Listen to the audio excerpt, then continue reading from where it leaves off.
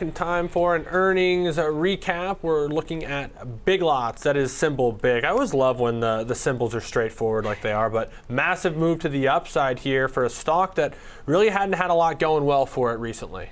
No, and I mean, considering the fact that shares are up, I mean, 30%, it's still at $8. I'm not discounting the move to the upside, but 30%, it's all relative, obviously, given the price. But here now to tell us more on their second quarter report that I'd like to welcome in Renita Young, senior markets correspondent for the network. So, Renita, walk us through what we're seeing, what's leading to this massive move to the upside. Because as we know in retail, it takes a lot to see a nice earnings move hold here. It does, and I'm glad that you injected a little sobriety in there. Even though it's a massive move, it is still trading under $9 a share. However, the company posted better than expected results for the latest quarterly earnings, where we saw losses come in narrower than expected, and the company beat revenue expectations, gave strong guidance going forward for the third and fourth quarters, and it was all a testament to the company's turnaround plans, showing that they're working. Revenue was $1.14 billion above expectations, and adjusted losses were at $3.24 a share far better than the expectation for a loss of $4.15 a share. But comp sales decreased by nearly 15% year over year. However, inventories were down 15% year over year at the end of the quarter to $983 million. Now, that was driven by the lower in transit inventory and then on hand units, also the drop in the average cost of a unit. Gross margins expanded during the quarter.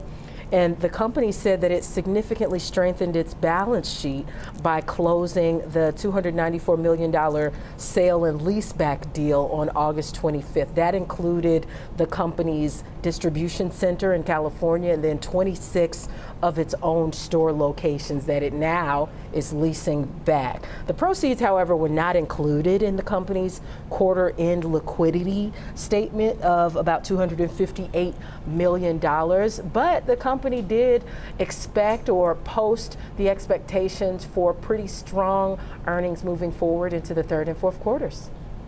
Yeah, this seems to be a story of better than expected, but still struggling quite uh, significantly and maybe in a little bit of a short squeeze situation here. I'm seeing about 23% uh, short interest on this one. But any final thoughts here on Big Lots, uh, Renita, before we say goodbye? Watch this closely because much like Five Below, dollar store chains, this stock is expected to do well in a downturn. But we've been seeing that line of delineation between those who actually do well and those that were expected but fail short of the expectation.